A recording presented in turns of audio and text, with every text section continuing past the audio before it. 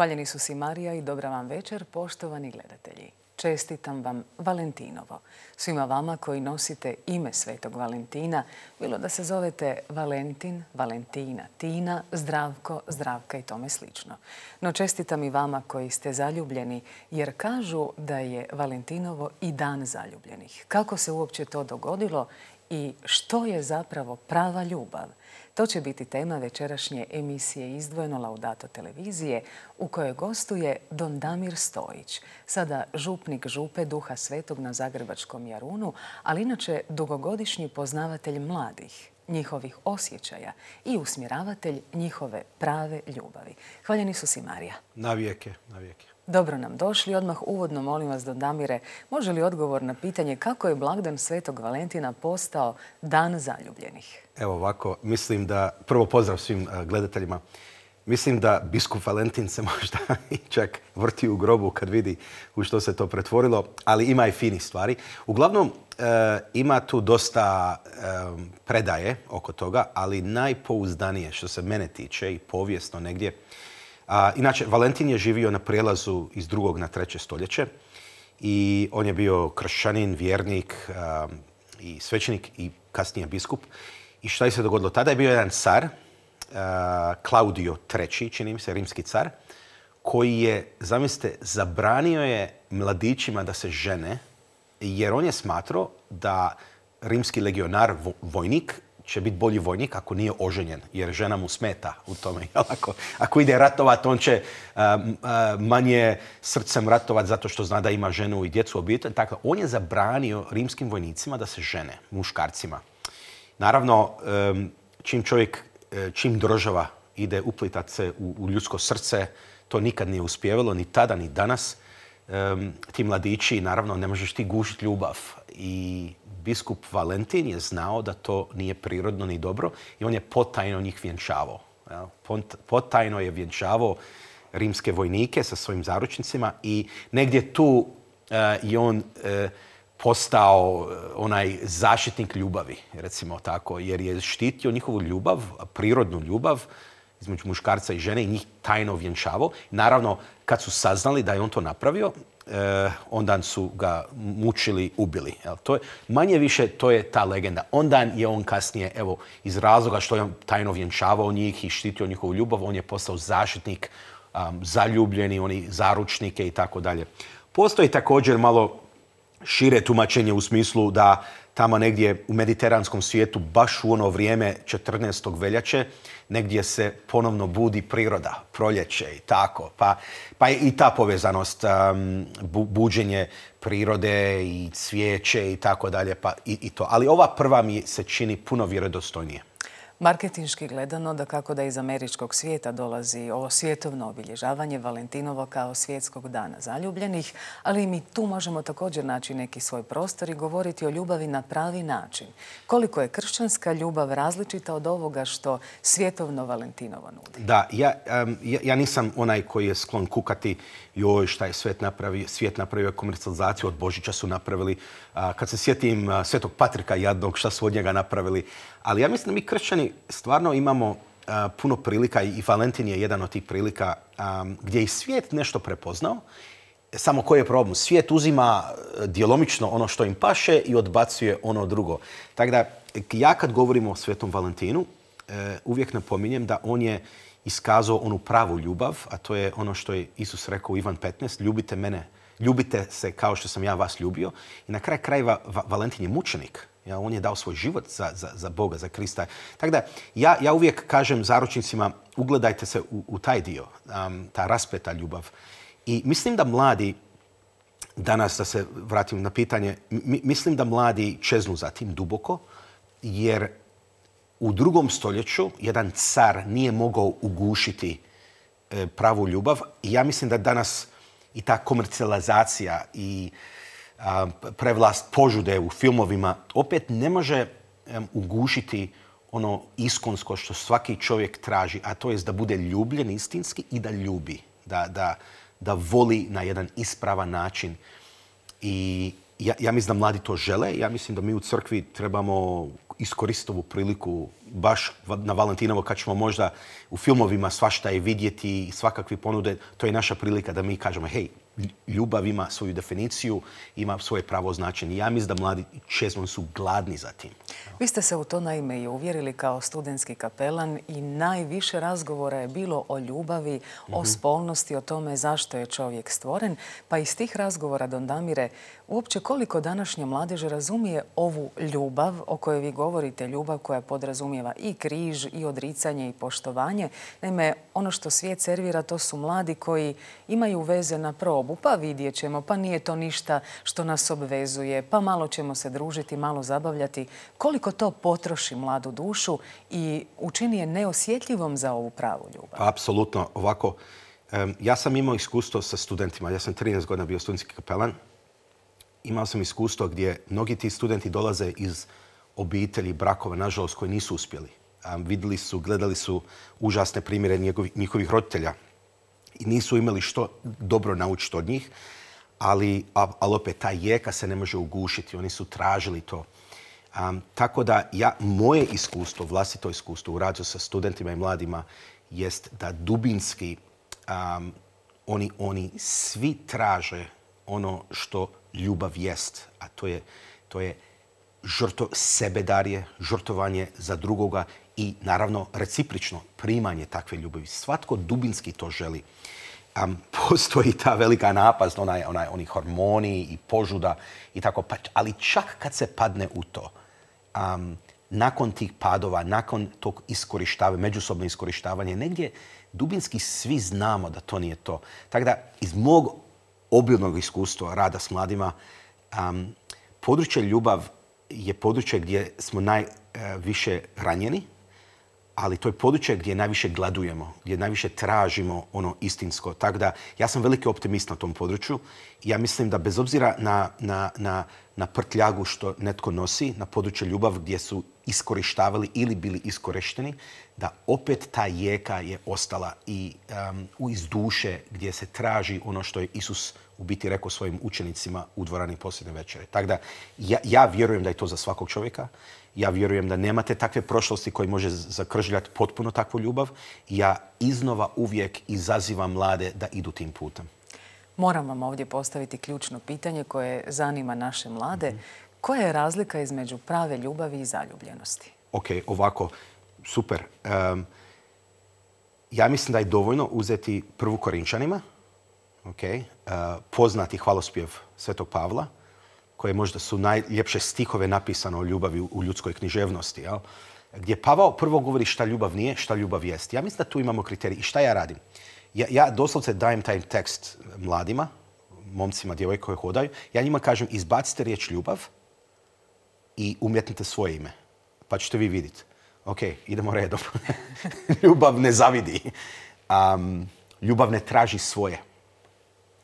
Ante ne traži svoje. Najčešće u zaljubljenosti, u požudi, ja tražim svoje nešto. Ljubav se opravdava, ljubav oprašta.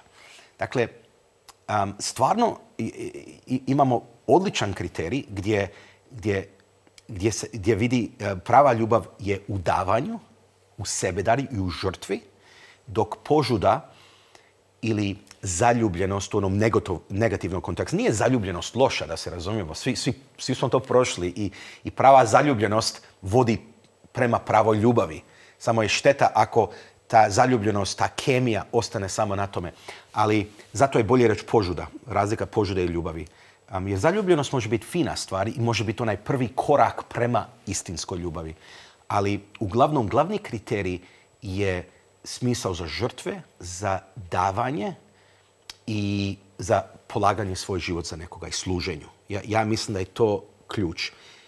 A u suprotnost požuda traži svoje. Požuda traži svoje na račun drugoga. Požuda traži užitak na račun ljudske osobe i tako dalje. I ja mislim iskustveno svi znamo šta je to. Jer kad smo iskorišteni. Jer Ivan Pavao II. je govorio malo sad filozofski termin, takozvana personalistička norma. Da, da osoba zavređuje ljubav, a ne da bude iskorištena.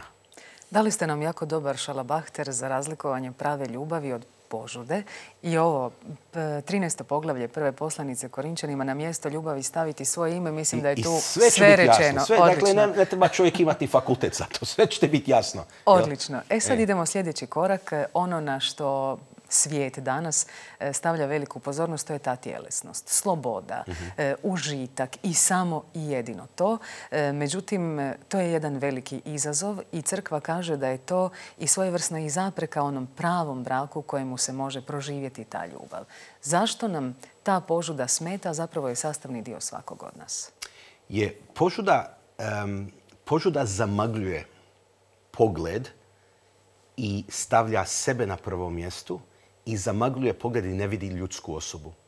I vrhunac požude zapravo jest pornografija. Dakle, um, negdje pornografija, negdje, negdje je utjelovljenje požude. Zašto? Jer, jer stavlja, jer e, odvaja se ljudsku osobu od svoje tjelosnosti. Jednom prilikom Ivan Pavel II je rekao, jako lijepo nam to rekao, kaže, nije problem u pornografiji ili bilo kojoj požudi što previše previše prikazuje, nego premalo prikazuje, ne prikazuje ljudsku osobu. ja mislim da, da upravo to požuda gazi osobu um, radi vlastite neke užitke i potrebe. Ponavljam, moramo ovdje biti jako oprezni zato što nije užitak loš. Bog je stvorio užitak. Bog želi da ljudi uživaju. Um, samo problem nastane kad mi uživamo na račun druge osobe i kad činimo sve da dođemo do vlastitog užitka zanemarujući tu osobu. E, to je požuda. Dakle, zato mi u crkvi razlikujemo požudu od vlas, od strasti. strasti su dani od Boga. Oni su utkani u ljudskom tijelu da nas vode prema ljudskoj osobi. Ali strasti se pretvaraju u požudi kad mi osobu pretvaramo u objekt našeg užitka. Dakle, jer, jer neki upriju prstu u crkvu i kažu, a vi ste, vi ste uvijek protiv uživanja. To, to nije istina. Ne, crkva jako podržava da supružnici uživaju, da postoji seksualni užitak, kako ne, to je od dragog Boga. Ali ne smije se to dogoditi da se pregazi ljudska osoba u svemu tome. Evo ga, da, da je užitak i strast u službi ljudske osobe svrha mora biti dakle, zajedničko uživanje muža i žene i tako dalje. Ali zašto za ostvarenje toga užitka, za kojega sad kažete, Don Damire, da je od Boga, treba brak? Zašto ovo što je trend svijeta da se živi prije braka zajedno, pa čak se i ne mora ići prema bračnom zajedništvu, mm sakramentu ženitbe, zašto ne možemo imati užitak s kim hoćemo i kad hoćemo? Pa, ja mislim da, ja mislim da brak je jedan okvir koji se stavlja oko sviti, sve što je vrijedno. Naprimjer, mi imamo jednu sliku, koju vrijednu sliku. Ja ću staviti jedan okvir oko toga. Okay? Zašto? Jer je to nešto vrijedno. Isto tako ja sam koristio jednom sliku pravila u sportima, bejsbol. Ja sam iz Sjeverne Amerike, volio sam bejsbol. Tipičan Hrvat ne voli bejsbol jer ima puno pravila. Ali ja tvrdim da bejsbol je zanimljiv upravo zato što ima toliko pravila crkva negdje smatra, ne samo crkva, nego, nego svaka ljudska civilizacija, jer brak nije izmislila crkva, brak je prije crkve, prije Krista, da to područje ljudske spolnosti je tako svetinja, tako jedna veličina, da je jako potrebno staviti jedan okvir oko toga, inače taj užitak će pregaziti jednu od tih osoba. I zato negdje je toliko važno da, da, da taj užitak, taj seksualni užitak, pa i spolnost, bude u tom okviru braka gdje, gdje se usmjerava prema jednoj osobi. U suprotnom se događa da jednostavno užitak bude na prvom mjestu. Negdje brak stoji kao jedan korektiv, ali ne samo korektiv, nego jedno usmjerenje da dvije ljudske osobe, dvije muško i žensko, mogu uživati i imati jednu garanciju trajnost. Jer ja mislim da ljudska duša čezne za trajnošću u tome. Ne samo za um, fizičku užitak, nego za jednu trajnost. Jer proći će užitak, doći će dobi gdje iz fizioloških razloga toga nema, šta ćemo onda? Negdje brak stoji kao okvir toga, da, da imamo jedne druge. I, zato sve civilizacije prije, i prije crkva, ovo nije crkva izmislila, svaka civilizacija je negdje to um, prepoznavala. Da se vratim na cara Klaudija, čak u njegovom ediktu da je rimski vojnik se ne može ženiti. Zašto je on to napravio? Zato što je on znao da brak će njega odvajati od jedno služenje unutar vojske. Dakle, i čak on na jedan perverzan način je, je prepoznao vrijednost braka. Jer kad čovjek je u braku, on usmjerava sve svoje snage prema toj ljudskoj osobi. I zato je zabranjivo brak. Jer on je htio da sve te snage budu prema um, njegovoj vrinskoj vojsi. A suprotom, on nije bio protiv seksualnog užitka, nego je bio protiv braka. To je vrlo zanimljivo, ti rimski neki. Jer su znali da brak preuzima um, tu potpuno a, e, predanje te osobe i zato ga je zabranjivo. Zapravo veže osobu, ne čini slobodnom za svakog drugog. Je, I ta veza je jako važna i, i negdje daje garanciju da ću biti ljubljen i da ću ljubiti. No, Damire, pokušavam vam postaviti pitanja ovoga svijeta da bi naši gledatelji mhm. iz vaših odgovora mogli naći materijal kako odgovoriti. Jedno od najčešćih pitanja, pogotovo među mladima, zašto crkva ne popušta? Kad svi zajedno već žive prije braka, pa mhm. vide jesu li jedno za drugo, ako nisu lijepo se raziđu. Imamo imitaciju braka prije samog sakramenta, pa ćemo onda vidjeti što iz toga dobrog izlazi, odnosno odustati. Tako svi rade, pa zašto crkva uporno inzistira nemojte tako činiti? treba popustiti? Je, je, ovako. Kad sam ja postao svećenik, ja nisam znao odgovor na ovo pitanje, pa sam prešučivo. Čak negdje dubinski sam, nisam nija shvatio. Rekao, pa pa normalno da se isprobavaju. Bolje sad se razići nego kasnije, pa neka ona uđu, nek se isprobavaju, pa vide, pa nek žive zajedno. Ja nisam to promislio, ali sam prešučivo to. Međutim, s iskustvom, šta je se događa, ja sam svećenik 20 godina. Ja sam upravo vidio suprotno. Ja sam primjećivo, nakon prve, druge, treće, četiri, pete godine braka, odnosno svećenstva, ljudi su počeli mi dolaziti i zato sam se ja bacio na tu temu iz pastoralne potrebe. I upravo oni koji su išli na probu su završavali u razvodu. Sam ja rekao, pa čekaj, ovo nije normalno. Pa čekaj, upravo razlog zašto su, zašto su živjeli zajedno događa se suprotno. Ja nikako to nisam mogao shvatiti. Sad, ovo nije znanstvena metoda koju sam primjenjivo, samo gledam ljudi koji su meni dolazili i primjećivo sam da mnogi ljudi koji su išli na probu završavali su razvod, a u suprotnom, oni koji su živjeli ono što crkva traže, čistoća prije braka, sudržavanje, su ostajali u braku. Napominjem, to ne znači da svatko koji će živjeti zajedno će završiti u razvod i svako koji živi čistoće da neće. Ali manje više sam primijetio da trendovi se događaju, da upravo se suprotno događa da ljudi koji žive u braku zajedno, odnosno prije braka, završavaju razvod. Onda se rekao, ajme meni, pa ovo nije normalno. Pa ono, mi kažemo elephant in the room, ima slon u prostoriji, nikoga ne vidi. Znači, car je gol, šta se događa? ja sam počeo to istraživati sam. Počeo sam pitati ljude, zašto se to dogodilo? Zašto ste vi, vi ste pet godina priživjeli prije e, brak zajedno, da bi spriječili razvod, sad nakon dvije, tri godine vi ste u razvodu. Kako to? I mnogi od njih nisu znali objasniti, ali sam došao do nekog mog zaključka, a to jest da ulazeći prije braka u vanbračnoj vezi, oni negdje posvjesno idu na probu. I sad, tipičan muškarac kad ide na probu, on će biti naj, naj, naj. I onda kad on uđe u brak, on više nije na probu, tada on se malo opusti. E, I onda ta djevojka jedna kaže, šta je ovo? On je meni lago. Ali u biti nije lago. Nego jednostavno je bio kavaljer. On je osvajao. On je, e, razumijete, i sad čovjek se postavlja pitanje, ali koja je razlika, kasnije on bi bio isti. Razlika je u mentalitetu. Ta djevojka ima jednu sliku da je on ovakav. I on je bio na probi. I on je se ponašao najbolje. I kasnije braka, on se popustio malo, ona, ona to doživlja kao dubinsku laž.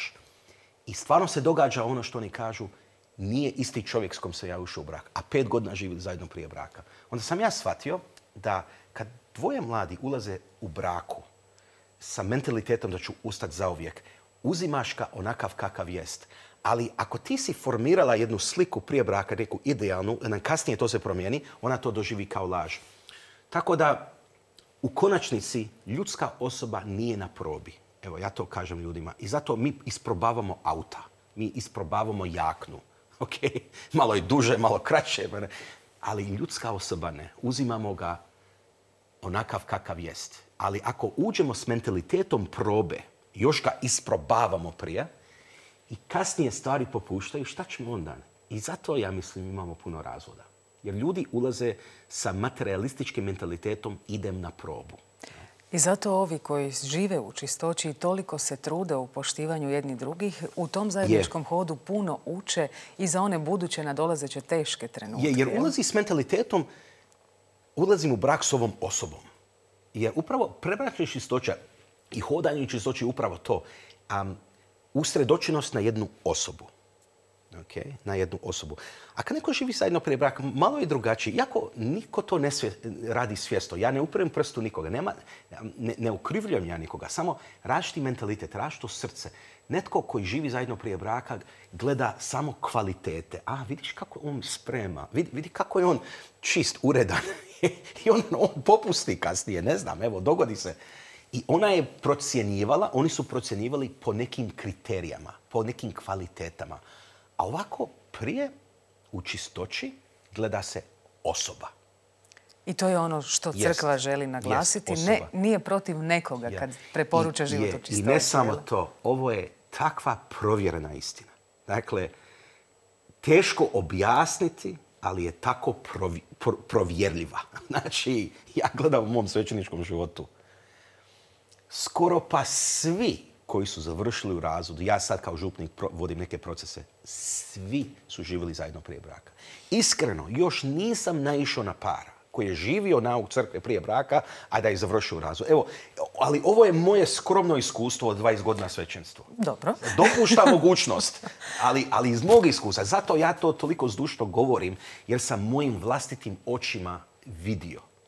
I da je istina što crkva govori. Iz ovoga što kažete, ovo vaše iskustvo, Don Damire, slijedi odgovor na jedno vrlo kratko pitanje. Mhm. Što svećenicima daje za pravo govoriti o, bračnoj ljubavi, o ljubavi mladih kad žive sami.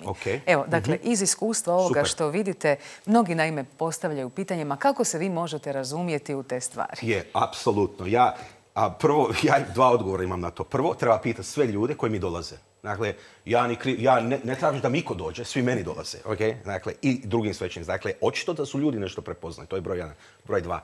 Zašto ja imam pravo govoriti o ovim stvarima o braku? Okay. Zato što da bi jedan brak bio kvalitetan, taj brak treba imati neke sastojke. Žrtva, služenje, sebedarje. Okay? Moje svećenstvo, ako sam pravi svećenik, ja znam nešto o žrtvi, o služenju i o sebedarju. Okay? Sad, ako neko misli da je dobar brak znat neki dobar položaj seksualni, nemojte meni doći na razgovor. Okay? Ja, ja vam neću savjetovati o položajima. Okay? Ako je seks samo jedna tehnika, ono how to, deset najbolji položaj. Još nisam čuo za brak koji je spašen zbog dobrog seksa. ali sam čuo da su bračni supružnici imali dobra ljubavni odnos zbog njihove dobre ljubavi. Jel? Dakle, za jedan dobar brak potreban je, potrebna je žrtva, služenje i sebedari. A ja o tome nešto znam, jer sam svećenik. I osim toga čuli ste toliko iskustava. I na kraj krajeva toliko iskustava. ja čak smatram da su u povoljnom poziciji Neko kaže pa bolje ići kod nekog psihologa koji je u. I možda je bolji, ne, znam. Ali zašto, sam, zašto svećenik može čak biti u povlaštoj situaciji? Zato što sam objektivan. Zato što ja čak smatram da sam ja u braku, ja bi negdje kroz taj moj bračni filter gledao stvari i možda bi krivo dao savjet. Ovako, ja polazim od nekih ideala.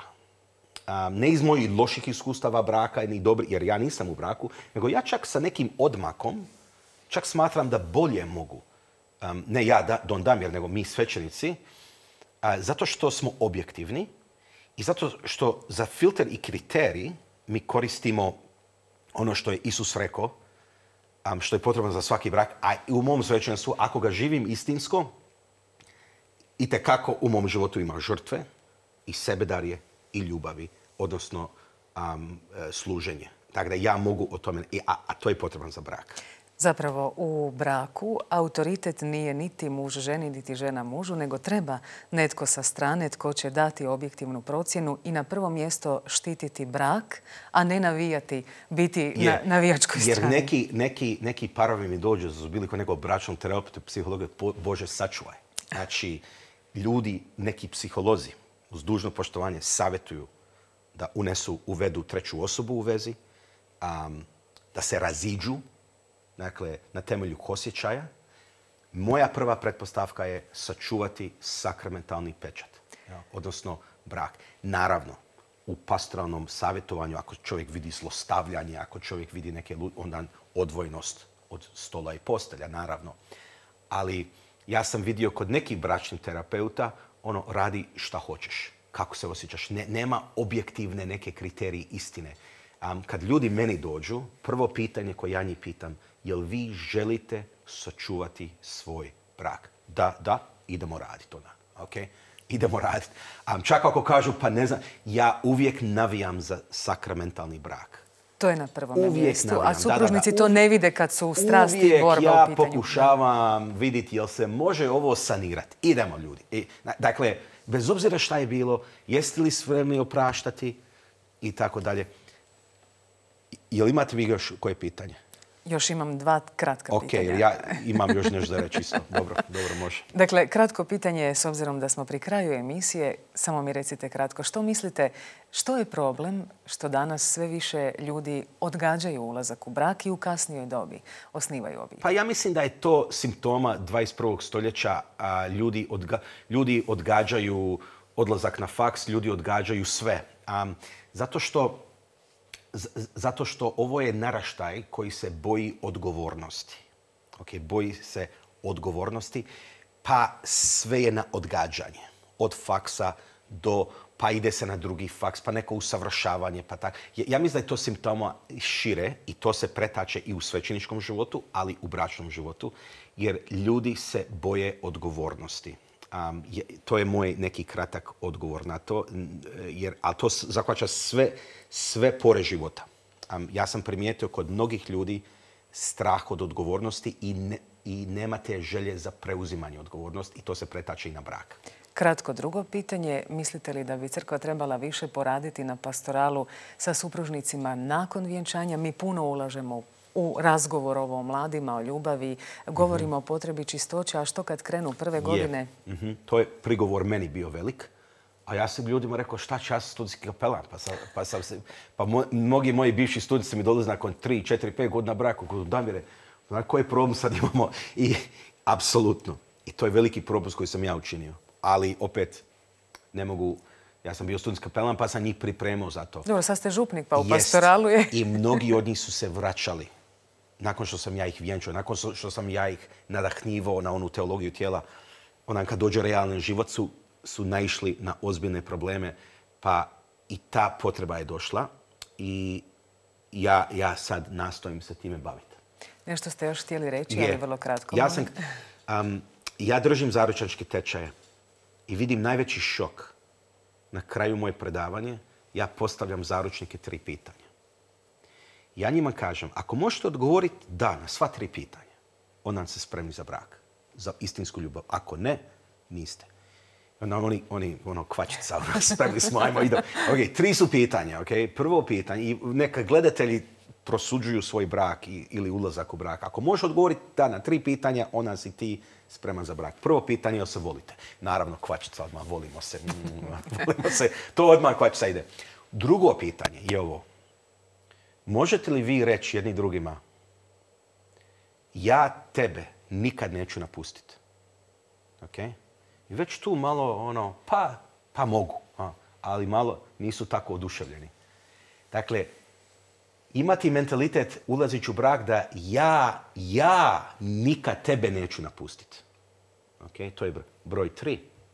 Možete li reći jedni drugima, ako neko ludilo uđe u tvoju glavu, i ti mene napustiš, ja ću tebe čekat.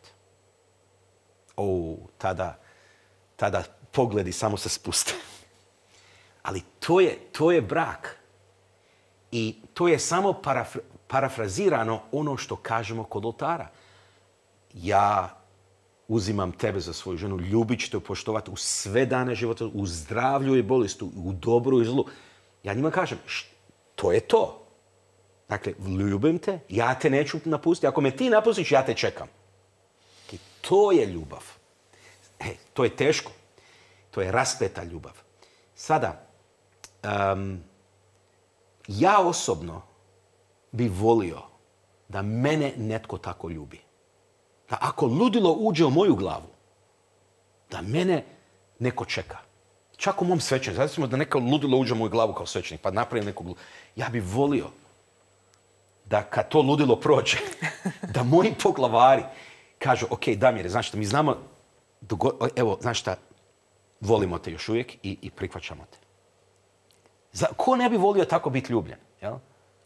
Drugu šansu. Mislim da ste nam s ovim dali odgovor na temu naše emisije što je zapravo ljubav. E, ono što kaže ljudima, zar ne bi voljeli da netko tebe tako ljubi?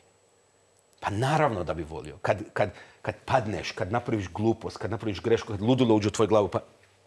Et, ali to je ljubav. E, a, ja bih volio da mene tako ljubi, onda moj prijedlog i izazov je aj ljubi na takav način.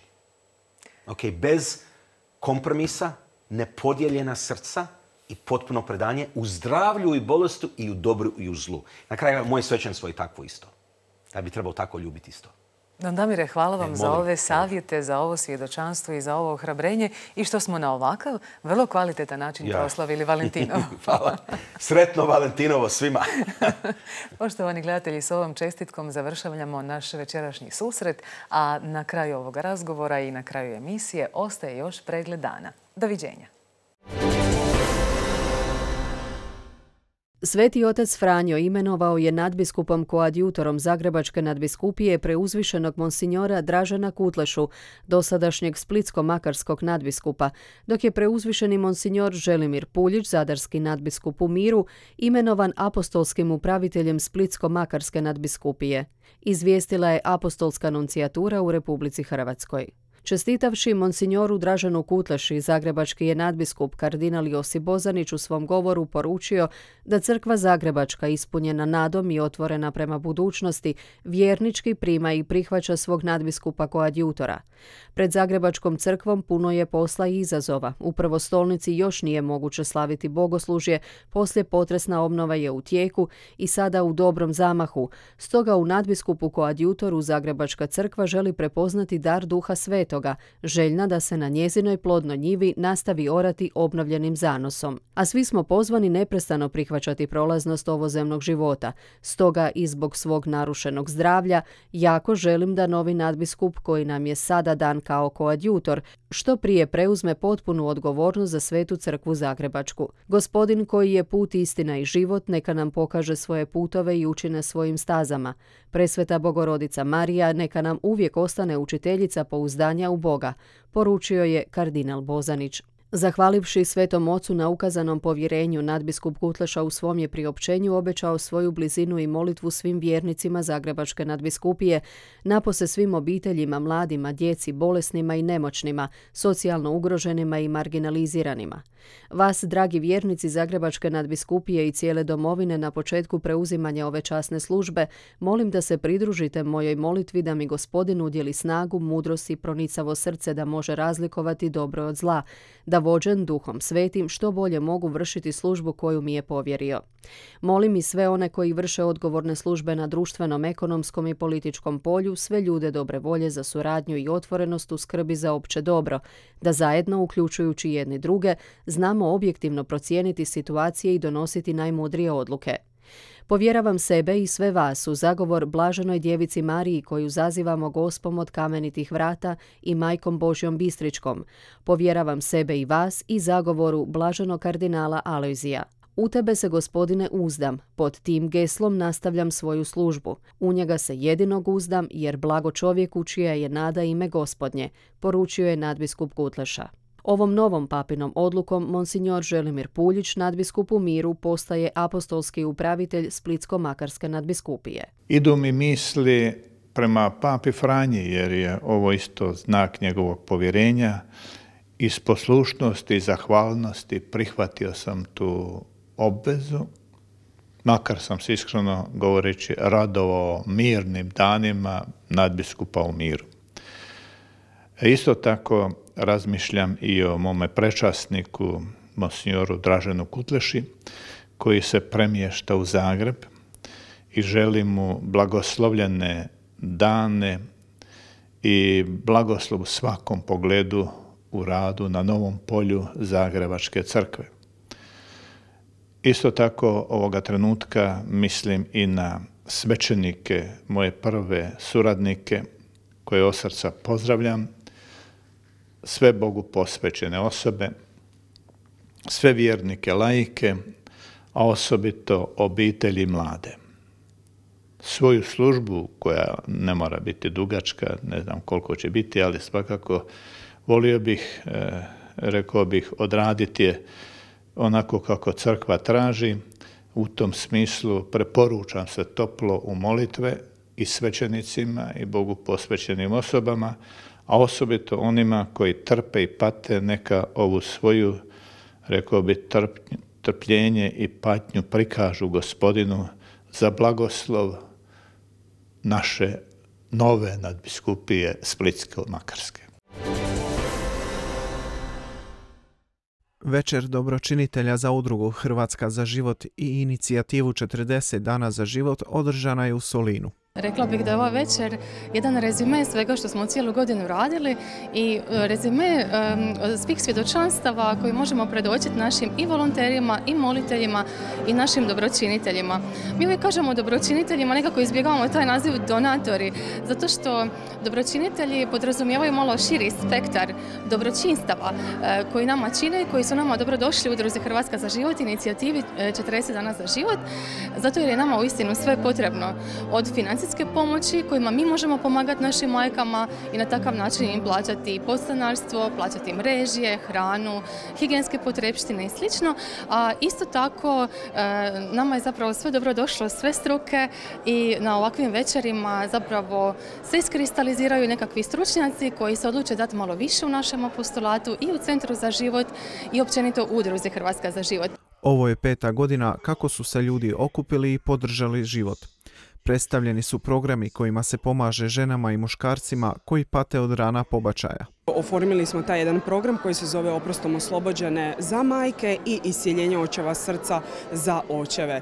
E, to je program koji je potpuno baziran na Božoj riječi, na sakramentalnom životu, odvija se u obliku duhovnih vježivi, e, bilo da je e, od kuće da se rade, bilo da se rade kroz programu duhovne vježbe u šutnji kroz nekoliko dana gdje se odvojimo, radimo zajedno u, znači u jednim lijepim grupama gdje se majke jedne druge drugima povjeravaju, gdje govore svoje iskustvo koje su dobile u molitvi i gdje jednostavno kroz to zajedništvo zapravo i kroz molitvu gospodin evo čini u njihovim životima da, da dođe do ozdravljenja tih emocija jer su dosta teške, dugo ih znaju čuvati u svome srcu i tako onda kroz to evo to iznose van kroz, e, kroz program, kroz određene teme i evo dolazi onda do velikih plodova. Velike se promjene vide nakon što osoba prođe kroz program. Plodovi koji su oku vidljivi bi bila e, radost, promjena na njihovim licima, e, mir u srcu koji se vidi u očima, dakle da one osjećaju e, pripadnost,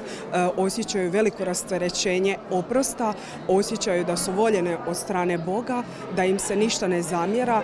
Često ono što bude veliki, velika prepreka kod žena koje su napravile pobačaj namjerni, odnosno izabrani, da one same sebi ne mogu oprostiti, e onda i dođe i do toga kroz program. Također se one povežu sa svojim bebicama i onda shvate da je njihova obitelj prošireni, prošireni dio te obitelji, da one mogu se i moliti toj svojoj dječici evo za nekakve svoje potrebe koje su ovdje na zemlji dok čekaju odlazak i susret u nebu. Zanimljivo je također bilo čuti kako je inicijativa 40 dana za život pomogla i ženama koje su u našu domovinu došle iz drugih kontinenata te odlučile roditi svoju djecu. Čule su se i svjedočanstva počinjenog pobačaja, ali i žena koje su radosno prihvatile dar života.